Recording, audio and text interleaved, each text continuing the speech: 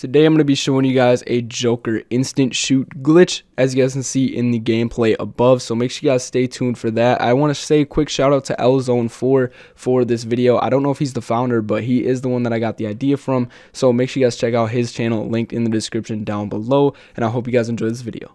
Alright, so to start with this glitch, you guys want to make sure that your loadout looks just like mine. So you can have one primary weapon. You might want to use it at the beginning of the game just to unlock all your perks. But then you want to have the JOKR as your secondary.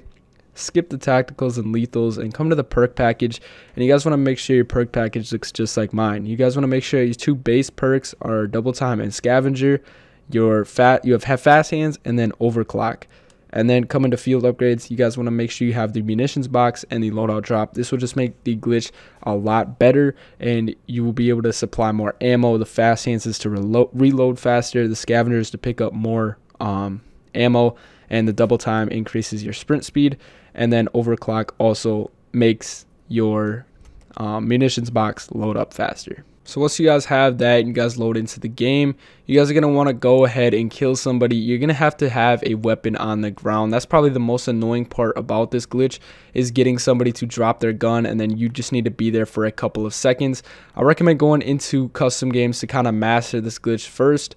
But as you guys can see, people are going to drop their weapons. And when they drop their weapons, you guys are going to want to stand over it. So once you guys stand over the gun, you're going to pull out the JOKR and you're going to hold to aim. And as soon as it says fire, you're going to pick up the gun and then pick up the JOKR again.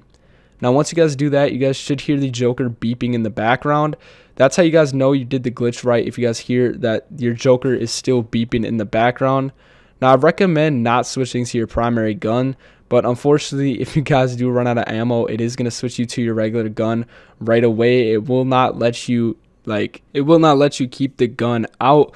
But that's pretty much the glitch guys. As you guys can see it is super easy to do and it will definitely make the camo grind a lot easier and a lot faster for those of you who are trying to level up the JOKR it is super easy to get kills with it and I hope this video does help you guys out.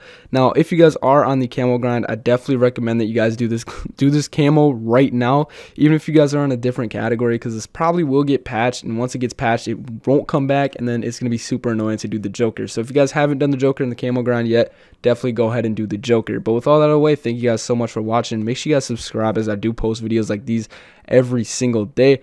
But with all that away I'll see you guys in the next one. Peace.